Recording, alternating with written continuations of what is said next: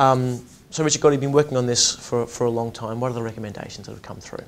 Well, uh, we'll put the recommendations to the government today, and there's 20 recommendations from the four task forces on trade, infrastructure, financing for growth, and human capital, Jackson.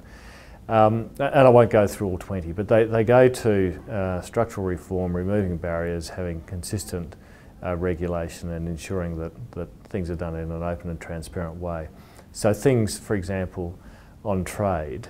Um, and the, and the prize for, for getting trade moving is really significant because at the end of the day we're after economic growth and jobs and, and that's what the Treasurer has challenged the G20 finance ministers with, come up with policies that will give 2% additional growth over the next five years. So on trade, for example, the, the, one of the key recommendations is implement what was agreed in Bali late, late last year.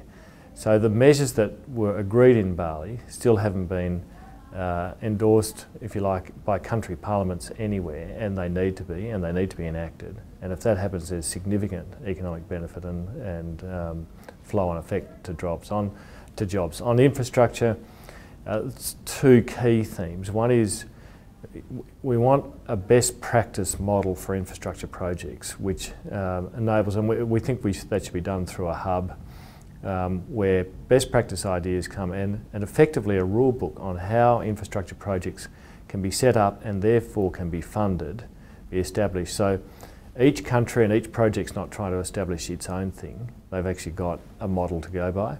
And, and that, that that flows through to another key recommendation is which is getting money to flow into appropriately into infrastructure projects because that's one of the key issues. It's not availability of money, it's actually that, that the money flows. On, on uh, human capital, there's a complete mismatch between what people are being trained to do at the moment, educated to do, and what the need of the workforce is. Uh, and so we've got recommendations around that, as we have recommendations around making it easier for business enterprises, the, the, the, the enterprises that create wealth and jobs, to employ people because cross-border employment is very difficult. So they're the, they're, I mean, there are a number of recommendations. They're, they're some of the key ones. Also, you know, um, making, enabling developing countries and SMEs have better access to finance because it's small business that's the big driver of economic growth.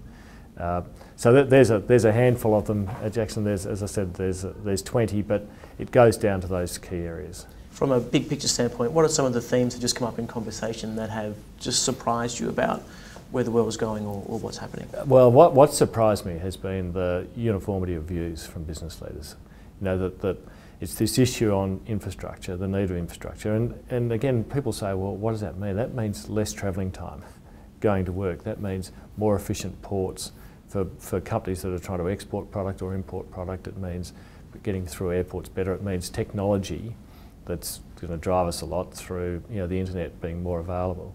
You know, business is absolutely uni united on, on the need to liberalise trade.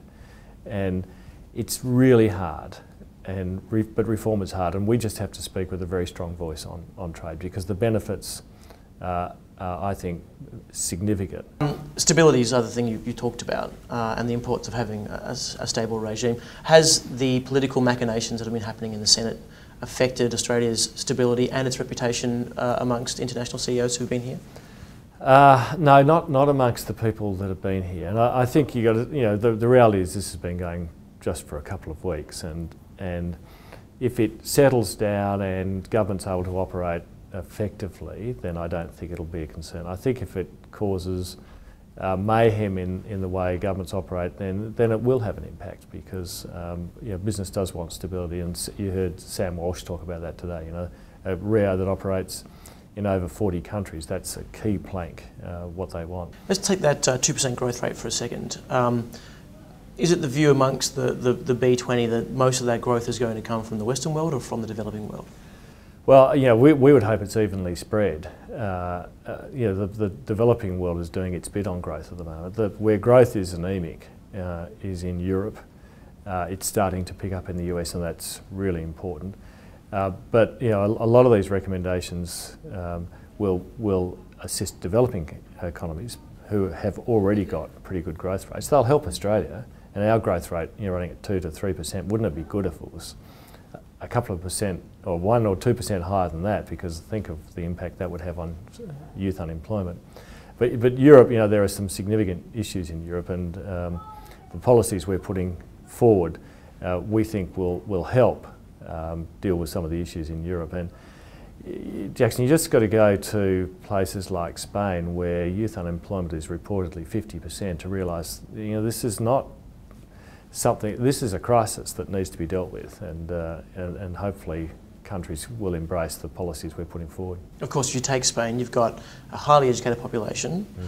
you've got incredible infrastructure in terms of road and rail thanks to the EU funding, you've got open trade, at least amongst the rest of the EU, and, and free flow of both labour and capital that has all the elements that you've been calling for. So, what more can be done? Well, uh, but it lacks structural flexibility. It certainly lacks structural flexibility. And you know, I, was speaking last year to an entrepreneur from Silicon Valley who uh, had a business that was more than the startup was starting to go well. He he needed 2,000 new employees um, who could be effectively anywhere in the world.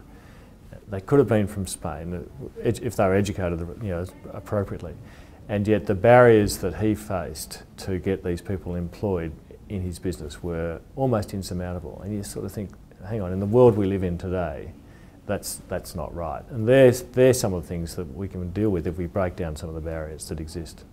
Let's talk about Australia for a second and we'll put on your Australian hat. You've spoken to a lot of international CEOs. What are some of the biggest concerns that they've talked about that you can see are going to be problems for Australia in the next one to five years?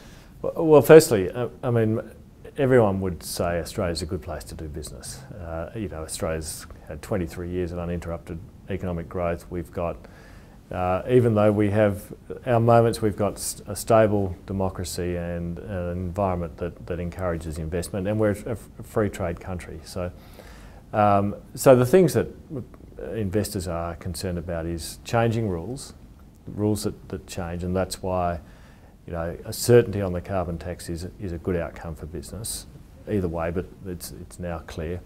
Um, and, and ensuring that Australia has a competitive tax rate is also a key thing for uh, business, business leaders. Now, you know, it's ask the Treasurer and, and, and, and, and he has a different need, but that's what business would be saying. And then ultimately you need a government that, that um, operates within its own means. Joe Hockey was very encouraging when he spoke uh, this morning about um, the opportunities that this might deliver, except he said to people in business, we need you to be cheerleading these things as much as possible because, you know, as government, we have to say something once and then say it 150 times or more to get that out there. Business hasn't really taken a lead role in pushing this out to the public. Does that need to happen much more? The job of every individual and the job of all the business groups now is to go and as the Treasurer said, be evangelists in terms of promoting these recommendations to policymakers, domestic policymakers in all of the G20 countries and indeed in other countries uh, to ensure that when the G20 finance ministers get together in Cairns in September and importantly when the G20 leaders get together in Brisbane in November that, that the policies that we want implemented are very much on the agenda to be, to be enacted on, implemented and acted on. You know, this isn't business putting its hand out saying, give us this stuff. This is business saying, this is the environment. If you put this environment in place, this will enable us to invest, take risk with shareholder money or investor money, and look to generate wealth, um, growth, and therefore jobs. So, so business is saying this is the environment we need for us to get on and do things. I think John Rice from GE got it right today when, when he said, you know, in the past, you used to have meetings with policymakers because it was a good form to do it. Now it's essential you have meetings with uh, policymakers because we need to have an aligned agenda. And, and he also said it's incumbent on business to understand what the agendas of, of our various countries are so that, uh, so that our business policies can also uh, work well with, with the agendas of, of, of politicians and, and what they're trying to achieve. Thanks very much. Thank you.